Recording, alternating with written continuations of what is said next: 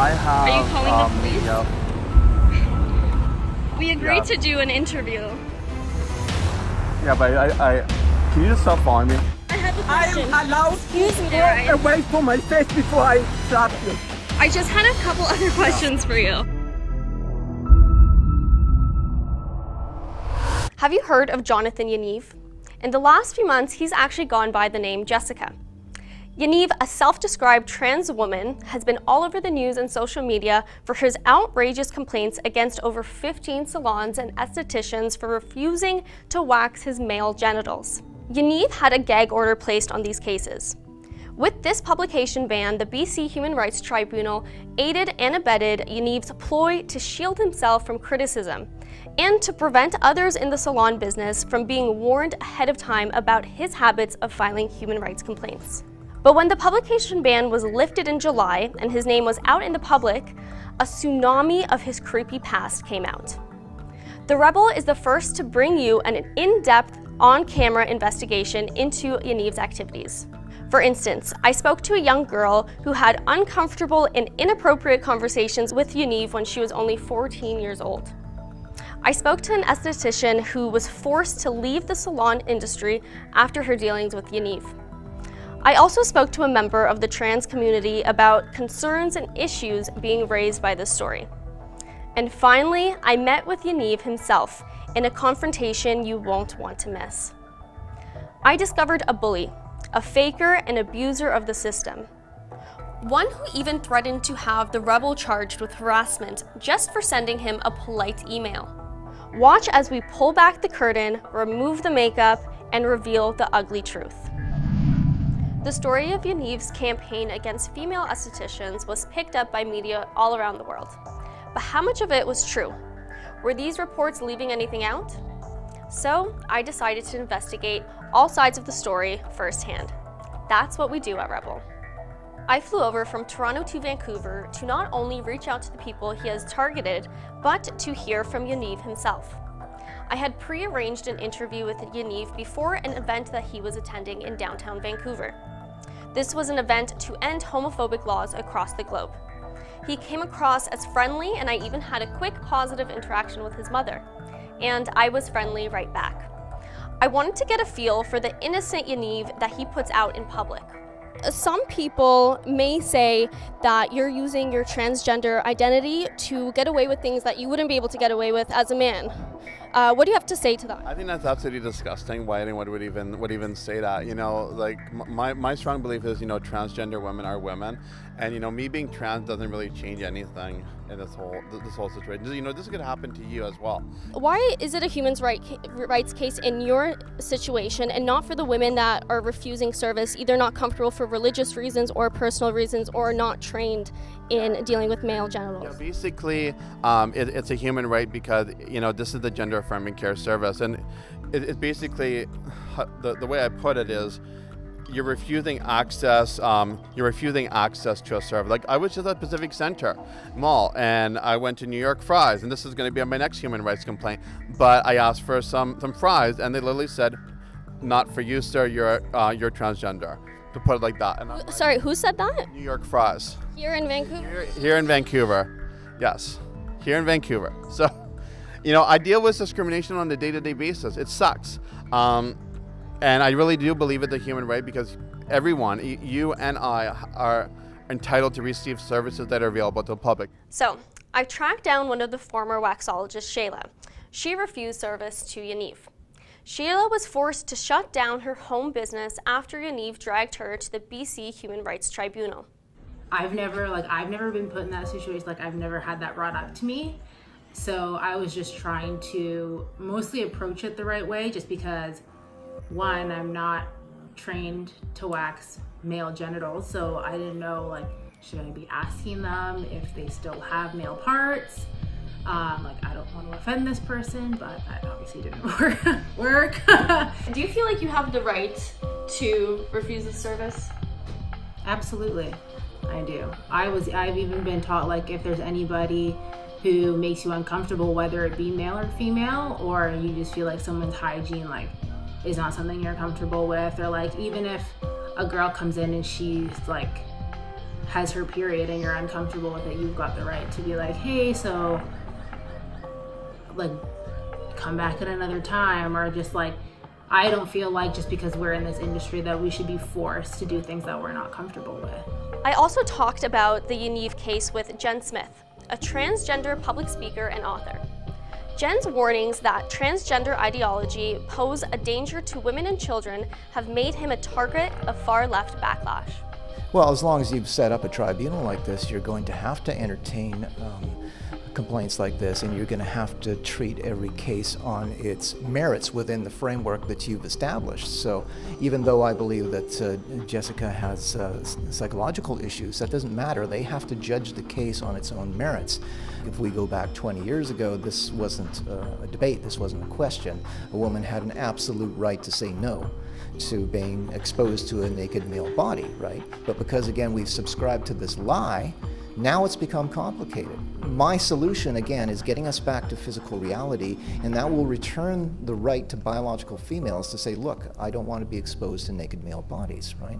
Subscribing to this illusion where we're, you know, want to force these women to subscribe to something that they don't believe in is Orwellian. Our society is in serious trouble right now. Everybody has rights. So if, let's say we abolished the uh, BC Human Rights Code, and just went with the, the Charter of Rights uh, at the uh, national level, right?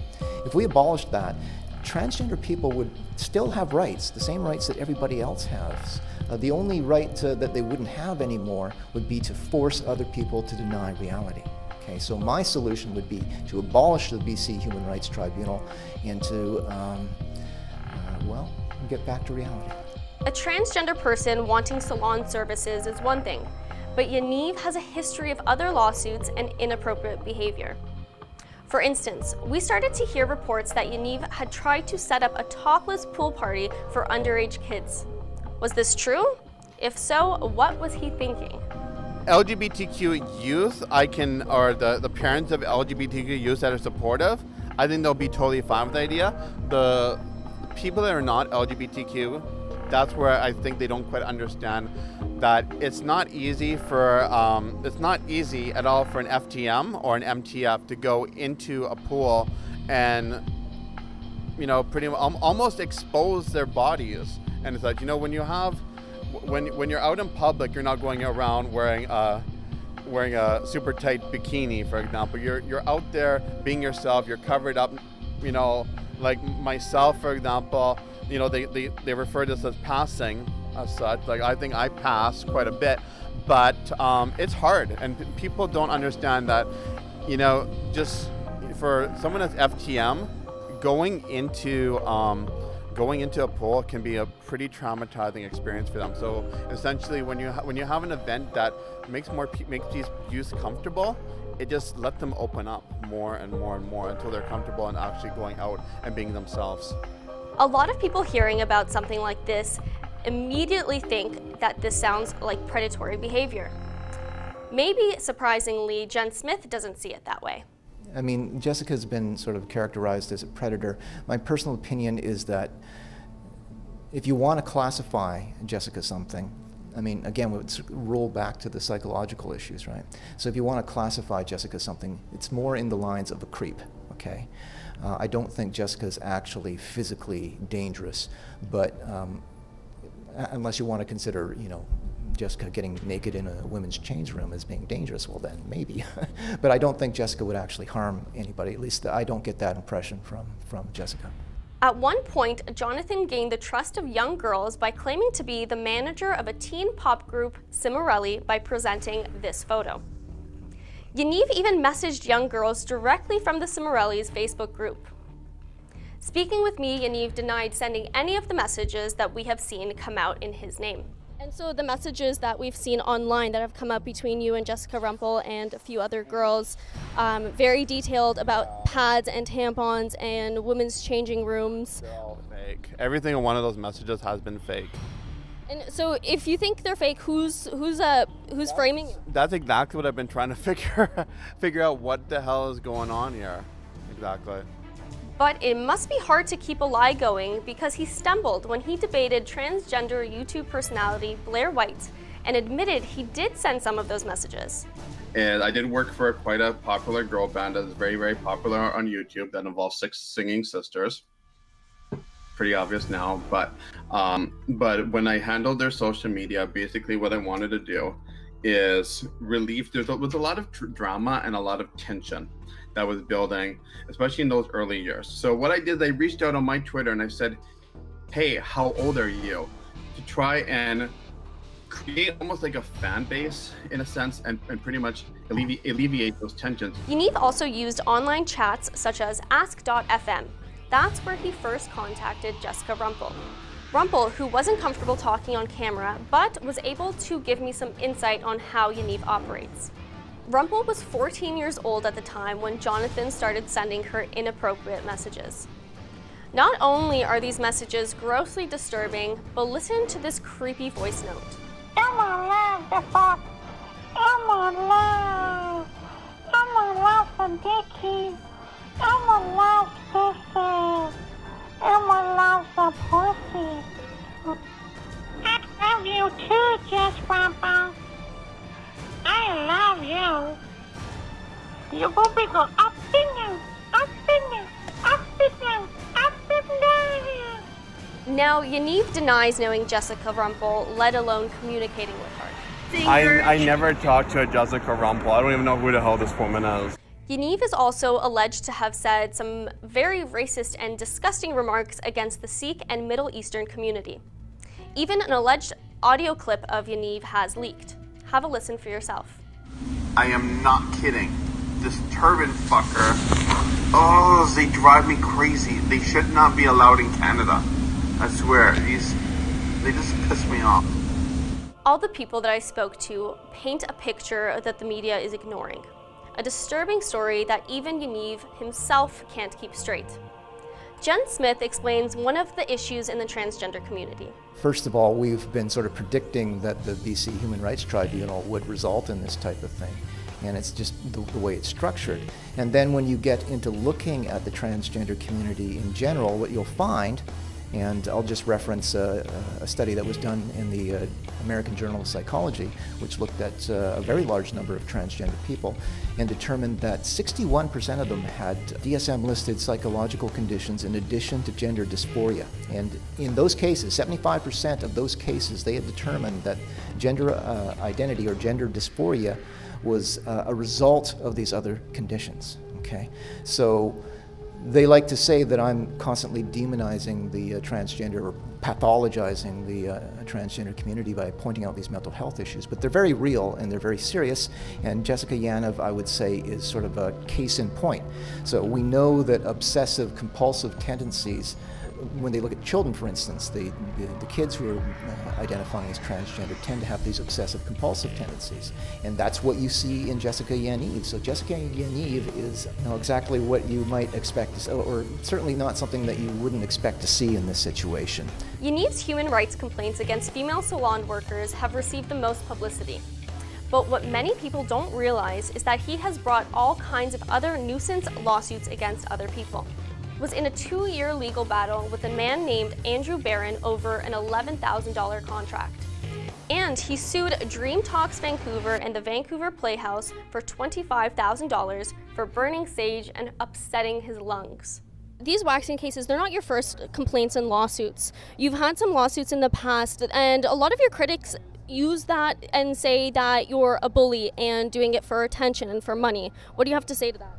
That's not true at all. Like I run, I run my own marketing company, and I have had to fight against clients that don't pay. And I think, I think anyone that run the business and has a client that doesn't want to pay, uh, or just takes off with twenty thousand dollars of expenditures, um, will obviously want to go after them when they're a small single-person business.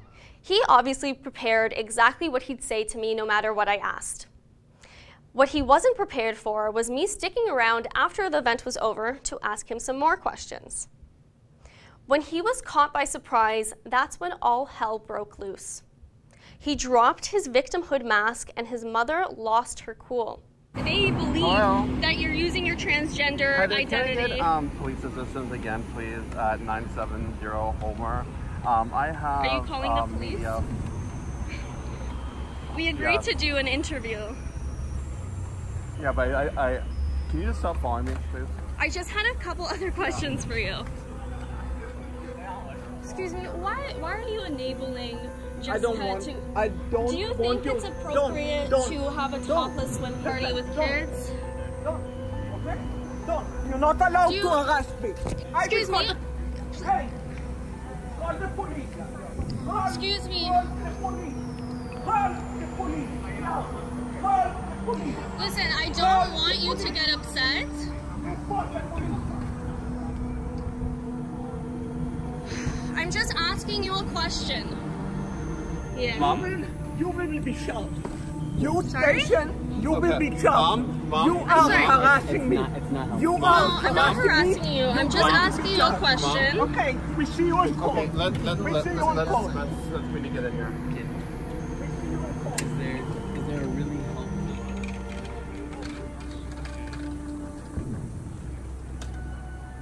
Go away from my face before I slap you.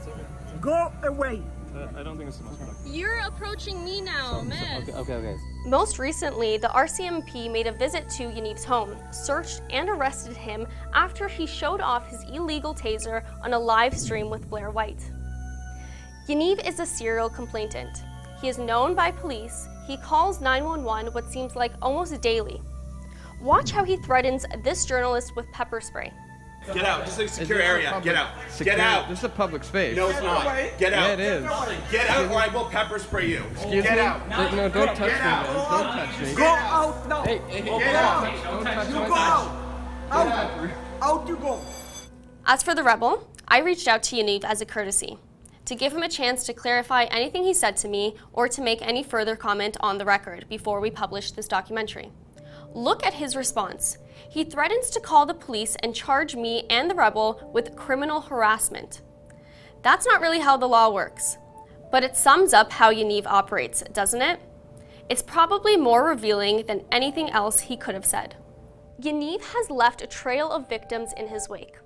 Salon workers targeted for refusing to violate their beliefs and personal dignity, and other targets of nuisance lawsuits and strange behavior. At the end of the day, Yaniv and his mother are the ones to blame for all this. But much of it could have been avoided if the BC Human Rights Tribunals hadn't cooperated in the first place. They aided his bizarre personal vendettas by agreeing to take his cases, then, incredibly, tacking on a publication ban so no one could talk or hear about them. Besides leaving a trail of bankrupt businesses and traumatized victims in their wake, remember these human rights commissions use and abuse your tax dollars with frivolous cases like this all the time. Cases that have nothing to do with real human rights. At this point, some politician has to have the courage to stand up to the identity politics bullies and the bureaucrats that enable them. They have to either reform these human rights commissions from the ground up or close them down completely. For The Rebel, I'm Jessica Swietoniowski. If you like this video and believe that this type of journalism is important, make sure you like, subscribe, and hit the notification bell so you never miss another one of our videos. You can always find all our coverage on therebel.media.